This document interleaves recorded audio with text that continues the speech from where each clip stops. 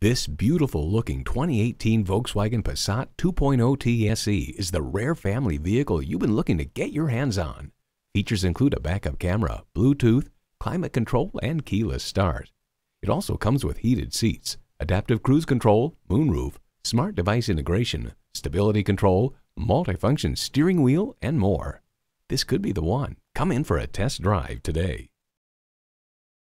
Rusty Wallis Volkswagen is one of the premier Volkswagen dealerships in Texas. We're easy to find just off Northwest Highway at 12635 LBJ Freeway in Garland.